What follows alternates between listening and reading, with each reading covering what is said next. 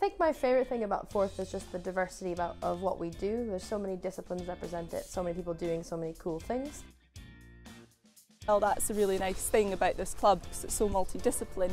We have people competing and not competing in so many different disciplines of the sport, so it's nice to get that um, wide representation. It has been, I don't even want to quote the amount of success in different competitive disciplines because I'm worried I would leave so many people out.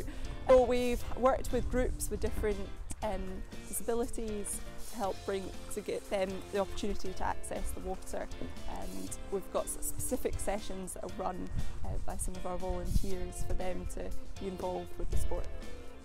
Something I was really proud of this year um, was that in June we trained up a lot of people as paddle sport instructors and a lot of young people and then to come in throughout the summer and watch them coach and watch them give back um, and be really confident and excited about that. I think that was one of my highlights of the year, just to see them doing that.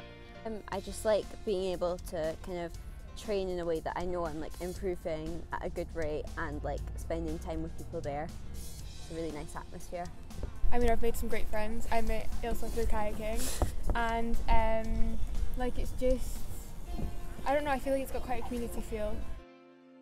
The club is, um, I believe, don't quote me on this, Scotland's oldest uh, surviving canoe club and turns 85 this year. So it's it's exciting to sort of celebrate all those years of um, the sport and what's changed since then.